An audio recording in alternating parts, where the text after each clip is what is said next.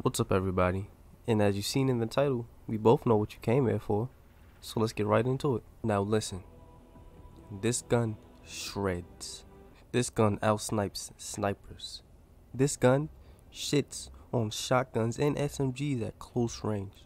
And don't even get me started on what it does against other assault rifles. So, with all that being said, let's get into the attachments. Starting off with the optic, I'm running the Microflex LED just so I can see my enemies more clearly. It's like, nah, I'm running this sight just because it's the smallest. Like all the other sights are mad big, and the sight itself usually blocks your vision.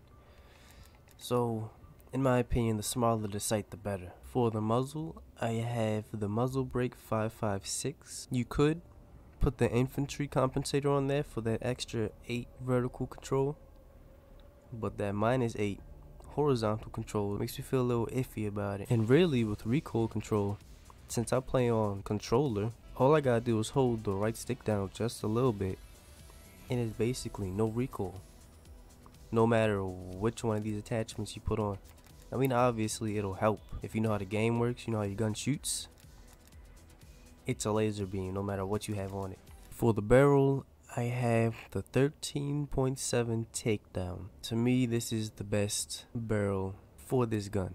Like I said in the beginning, it outsnipes snipers. With that effective damage range at 150%, if you hit all your shots, they don't stand a chance against you. For the underbarrel, I'll be running the foregrip just for that plus 15 horizontal recoil control. I would run the SFOD speed grip, but I just don't like that combination of numbers right there. And lastly, for the stock, I just realized the Raider pad is just a combination of the buffer tube and the combat stock, just with that minus 30% hip fire accuracy. Which who hip fires with an assault rifle anyway? So the Raider pad is a definite have. Now that you guys know the perfect setup, I'm gonna take this time to ask you guys to please like the video and subscribe to my channel. I am currently on the road to 100. So yeah, with all that being said, this is D-Star signing off.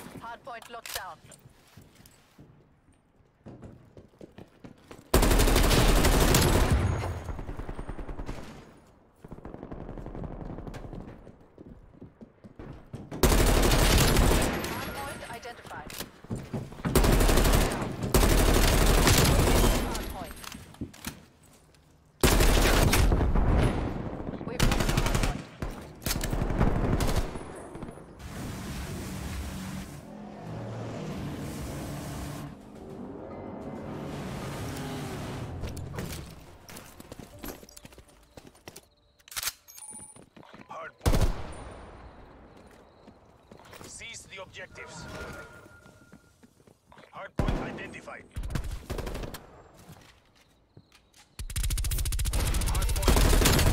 Lost Hardpoint lost.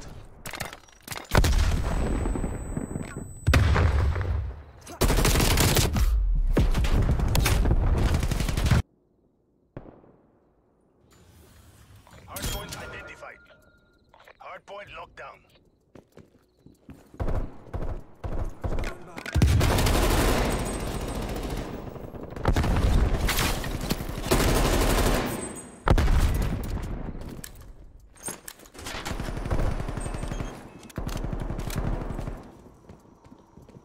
Enemy deleted. We are pulling ahead.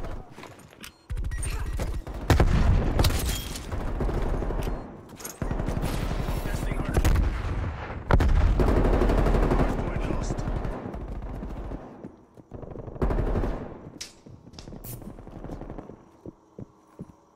We are falling behind.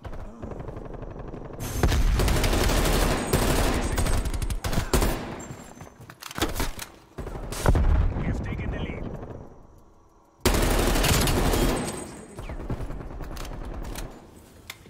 Hardpoint identified. Hostiles have the hardpoint.